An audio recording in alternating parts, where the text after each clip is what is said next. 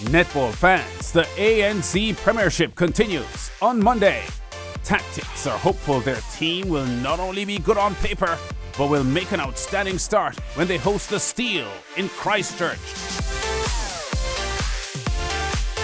Live coverage begins at 1:30 a.m., 2:30 Eastern Caribbean Time on Sportsmax and the Sportsmax app. Experience Sportsmax when you download the app today.